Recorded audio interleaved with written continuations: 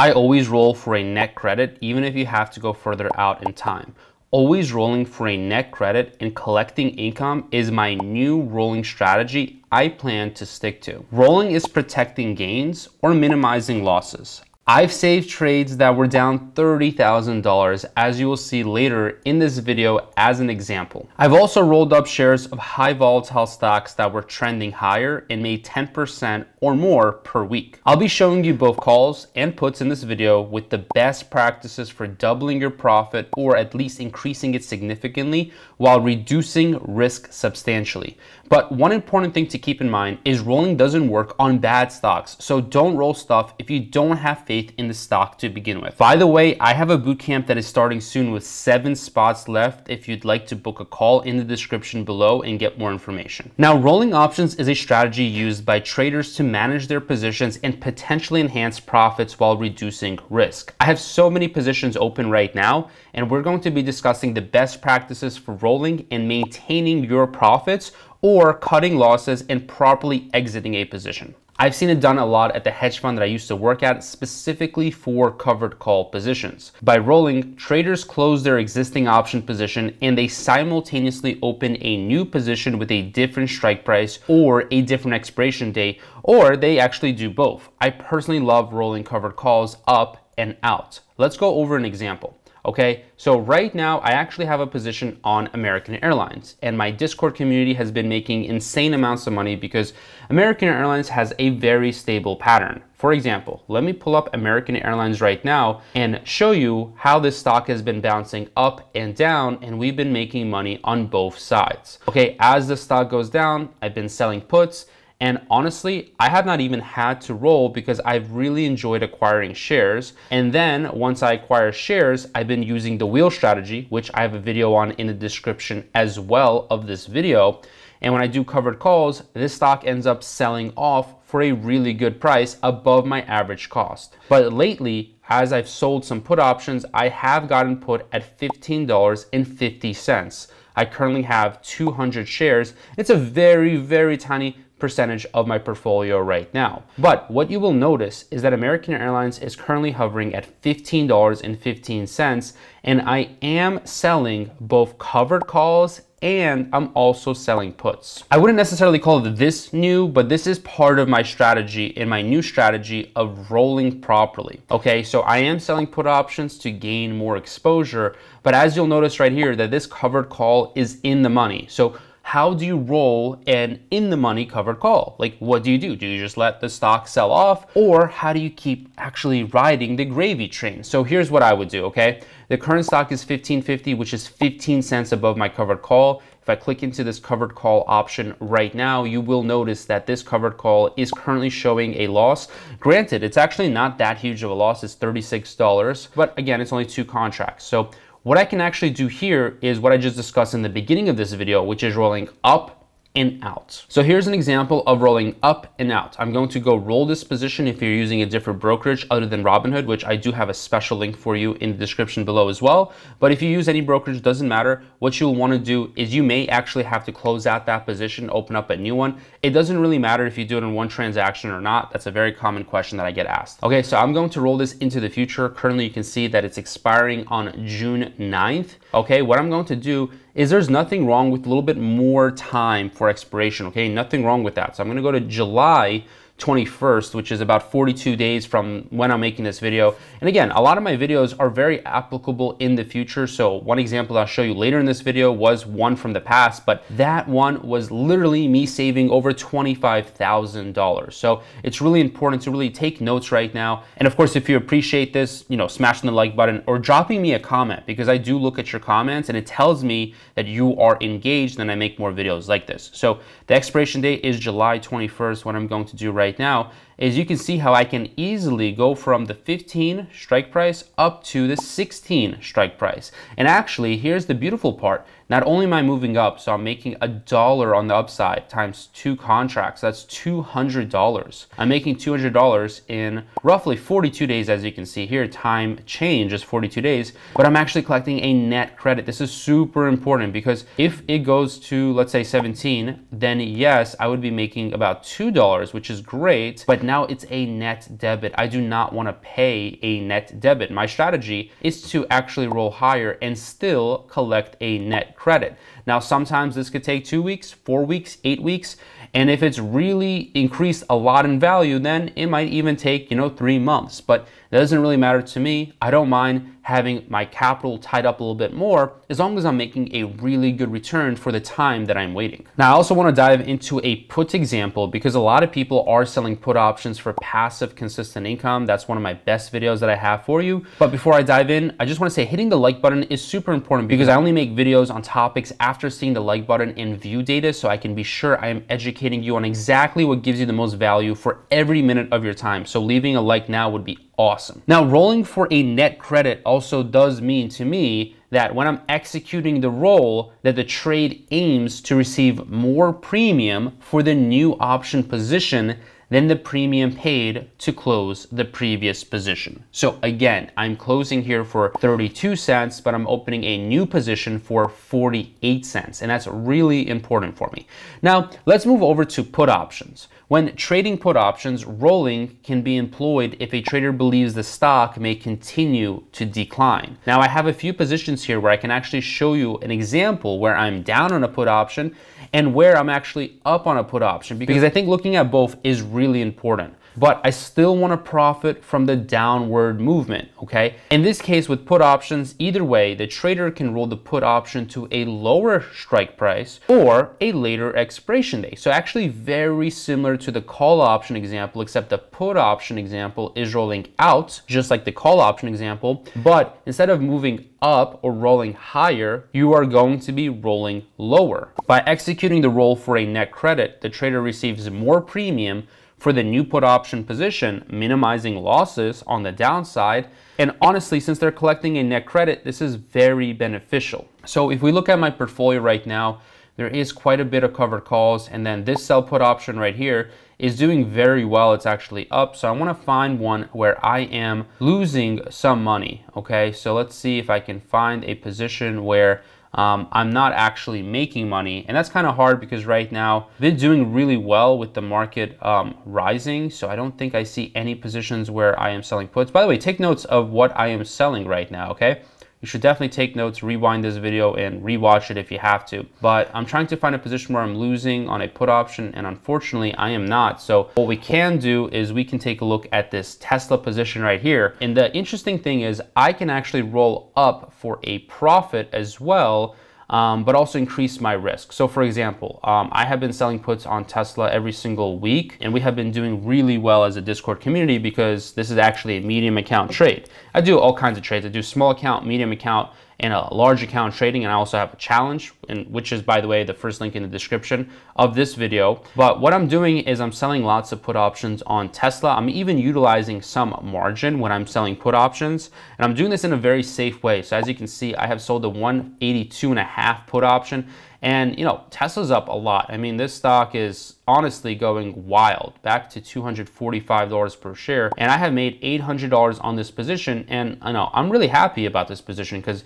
as you can see, my history is I did this on June 1st and now um, it's going to be expiring today on June 9th as I'm making this video. Okay, so $820. But here's the thing, this has already made all of its money. It's already up 97.56% and it's really worth almost nothing. So Here's what I would do. You, you don't always have to roll down if it's in the money. So if it's in the money, obviously you would roll this 182 down to, let's say 180 or 175. But in this scenario, since all my positions are actually very profitable and we're just killing it as a group, you can actually roll up to increase your risk as well. So rolling actually works in two ways, like I said in the beginning of the video. You can minimize your losses or you can actually increase your gains. So what I'm gonna do right now is I have a 182 and a half put option. I can go out somewhere into the future. Let's just use uh, Let's go out a little bit further. Let's go to August 18. Let's say that you're a little bit of a lazier trader, but you still want to make lots of money, but you're as busy as a lawyer, doctor, or other professional. Then you can actually go like two months out, three months out. There's nothing wrong with that. Now, Tesla is currently at $245 per share. So what I can do is I can roll this option higher, not too high. Obviously, I don't want to have too much risk, but I can move it up to say $200, okay? So this is still a 20 delta. All right, not bad, pretty good. Implied volatility is 56.9%.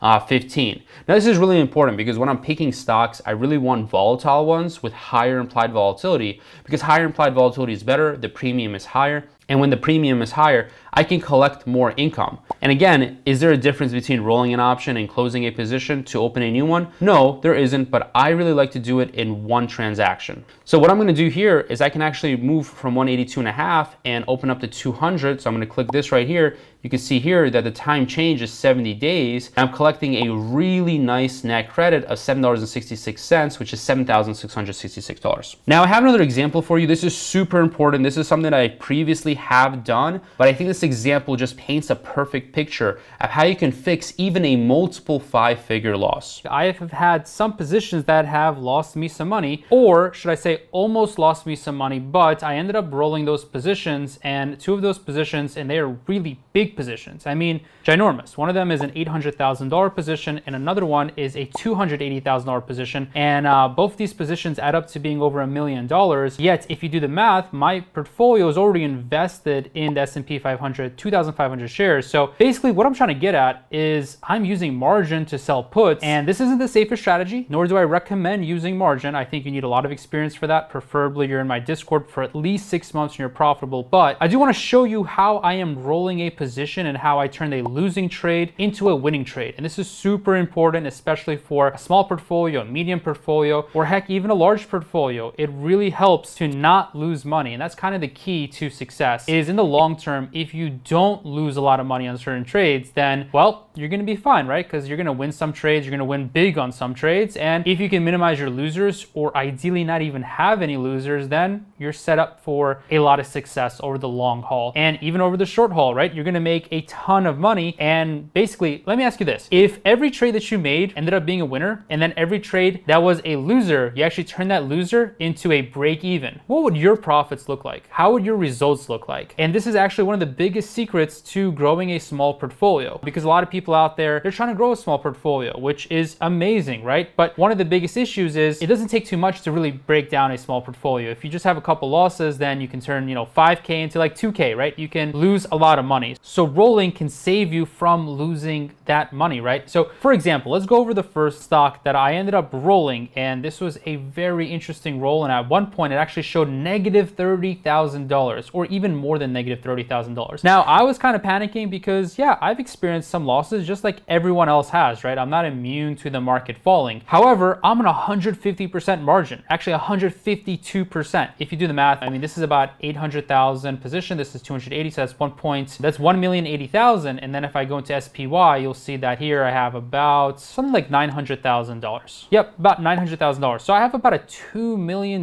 investment and even a little bit more than that because I do have some Apple shares, these Apple shares right here. Let's see how much I have in equity. 57K. So, I mean, still a lot of money, right? That is probably the size of most people's portfolios out there. But obviously I've been doing this for like nine years. So that's why I have large portfolio. It took me a lot of time to definitely get to this point. But anyways, if you'll notice, I have about a $2 million worth of investments, yet my portfolio size is only $1.4 million. So I'm basically borrowing around 50%. I do have some other positions like Oatly and XLY, selling American Airlines puts. We were really successful in this, by the way, in the Discord. But anyways, what I'm doing is I'm borrowing money and I cannot lose my money. And that means that you probably also can't lose your money, even if you're not using margin. Again, I'm not recommending margin. I think that is a thing that you do when you're super advanced, you're part of a community, and you have some guidance at least. Doing it yourself can get really, really risky. By the way, you can always schedule a free call by clicking that first link in the description to join the Option Coaching Academy. But essentially, what I want to do is I want to protect myself from ever, ever losing money. So let's go into SPY. SPY right here, I currently have the 397 put. So if I go into my history, you can see that this isn't just a put sell. I didn't just go ahead and sell puts. This is actually a short put roll. Now what this means and the reason why it says this is because I previously had a position that didn't really go well. And let me show you what that looks like. So previously you can see here that on 610, which is on June 10th, I had the 408 put. Okay, now obviously SPY has gone down a lot. If I go down to the one month, this is actually the option view itself, but I have to go back to the stock view. So let me go back to the stock view. Let's quickly look at what happened for three months. So for three months, this thing is down 13.57% and I sold the 408 put. So clearly it went below 408 and I would have had to buy a whole lot of contracts. Let's see how many contracts. I would have to buy 20 contracts. So again, 20 contracts times the $400 would be 800 grand. And as you guys can see, I do not have 800 grand in my account. So I need to do something to basically protect myself from losing all of this money. Or, you know, of course I can use margin to get put 800 grand worth of stock, but you know what? There's an interest rate to that. And I do not want to pay interest on $800,000 of loaned money. So the secret to not having to pay interest is by rolling that position. And basically you can keep rolling until you become profitable. So let me go back into this 397 put option. Let me show you how I protected myself and basically got myself out of a really bad situation. I mean, I was in a complete pickle. It was like that OMG moment. I don't know, you guys probably experienced that at one point in your life. You're like, OMG, is my life over? Or are things about to get really, really bad? What do I do? And you got to think really hard and critically on how to get out of that situation. But luckily with option trading, you don't have to be super quick. You can just think it through. And the best thing that you can do is roll down. So this called it's called rolling down. But actually what I did was I rolled down and out. So for example, let me go back here. I had a 408 put. Okay, this was expiring on 610 on June 10th. Um, so what I did was I bought back 20 of the contracts. Okay, now that would be super expensive because 20 contracts times $16 would be what, like $32,000. So like I said, I was down over $30,000. So this would be a $32,000. In fact, it might be even a little bit more than $32,000 because of this 34 cents here. So it was probably like $32,680. So I had a big hole in my pocket. Now, if I were just to buy this back, that hole would be permanently burnt. Like my wallet that got stolen when I was traveling, okay? That wallet was gone. I never got it back. Unfortunately, I had to get all those credit cards back and order them to Europe, right? But what you can do to actually kind of get your wallet back or get your money back, right? So let's say you have a hole that's burnt in your pocket. That wallet just fell through the cracks and someone found it. Well, what if I told you that you could basically have like a line, like a rope attached to your wallet? So when someone was trying to take your wallet or when it just fell out, you would have felt it like dragging on the ground or you would have felt a tug. Basically, all I'm saying is there's like a safety net to protecting yourself from losing your wallet. And in option trading, the way you don't lose your wallet and you don't burn your cash is by rolling. So these 20 contracts right here, I bought them back. The 408 was the strike and the date was 610. Then what I did was, you can see here that I closed, but then I actually opened simultaneously. You can see right here that was like 12.06 p.m. And then I um, opened another 20 contracts by selling them also at 12.06 p.m. on June 10th. Now, in this situation though, I went down. So you can see I went from 408 to 397. If you do the math there, that's $11. Might not seem like a lot, but $11 since each option is 100 shares, $11 is actually $1,100. And because this is 20 contracts, I ended up saving about $11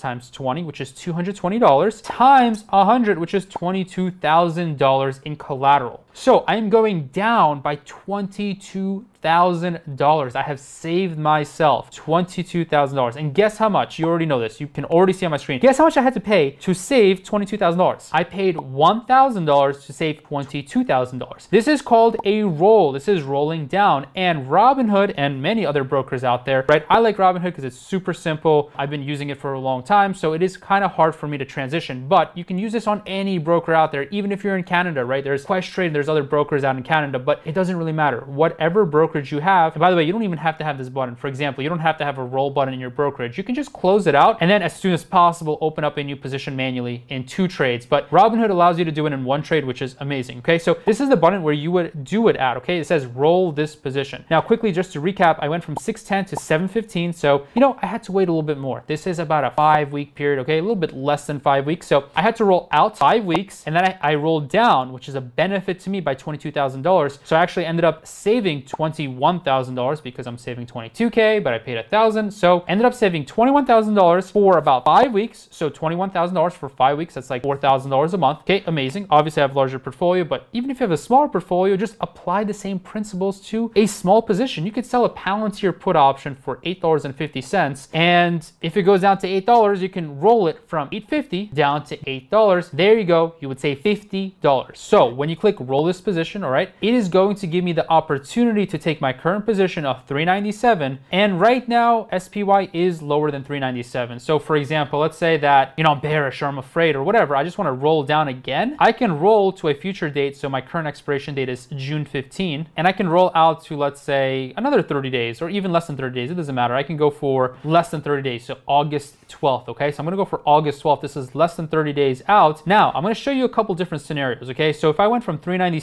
and I actually just kept it at, well, there is no 397 for some reason, but if I rolled it down to 396, you can actually see here that I would collect $6,980. Literally nothing has changed. In fact, a little bit has changed. I'm actually benefiting myself down by a dollar, but really not much has changed. Let's just pretend this is basically the same strike. But because I'm going out in terms of expiration date, right? So I'm going from July 15 to August 12th, because I'm going out about 30 days, actually like 28 or 27 days, actually 28 days, it says right there, I'm actually gonna collect a credit. This is really important. I'm actually collecting a credit and I'm basically doing nothing. This whole premium is actually coming from time value. This is all coming because, you know, options have theta, which is time decay. And because I'm going out for an extra 28 days, there's inherently a little bit more risk because it's 20 days out. So because it's 28 days out, I'm getting paid, I'm getting compensated about $7,000 for going out. But wait, you don't actually have to pick the same strike. You can go down as I just showed you. So let's just say that, you know, you don't know if SPY is going to go up or whatever stock is going to go up, right? Let's say you think it can pretty much stay the same or whatever. You think it can go up, but maybe it's not going to go up to the 397 mark. You can go down, as you can see by the premium, even if I go down to 390, 390 right here, I can again buy myself $7. You can see from 397 to 390, I'm buying myself $7. 20 contracts of this is $14,000. So I'm basically saving $14,000 by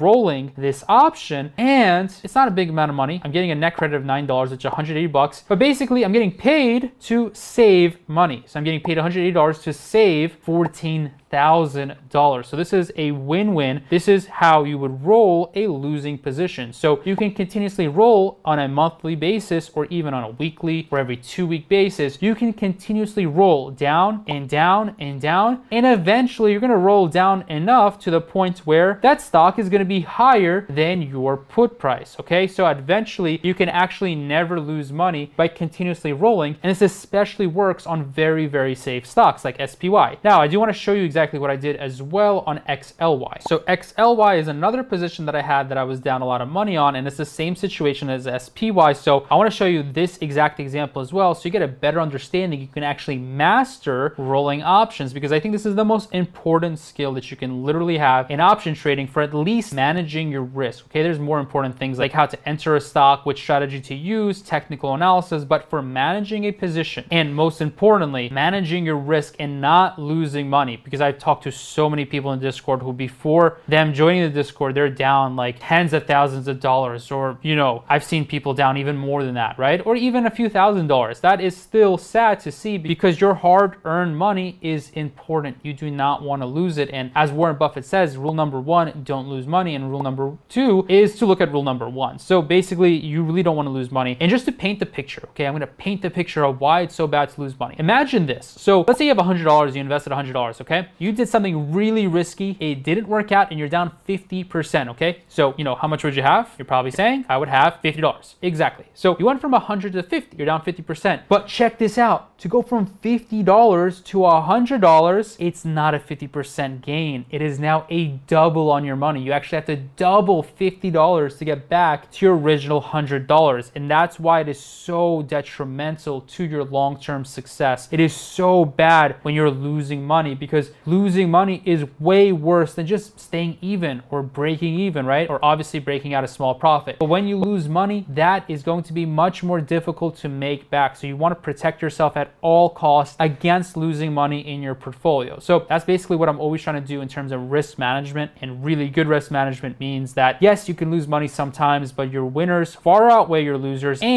when you do lose, that loss is very minimal. Okay, so I had XLY, sold the put option, and as you'll see right here, it also says short put roll. So if I open up XLY, see right here that I actually bought back same date, right? It was the same date, it was two minutes later. I bought back the 150 put. The 150 put was way in the money. I would have to pay about $10,000 to buy it all back. But instead, you know, obviously I bought it back and then I rolled it. So I actually ended up selling 20 contracts to replace the 20 that I previously had. But now it went down to 141 want. Make sure that you keep watching some more videos in my option playlist to master your option trading.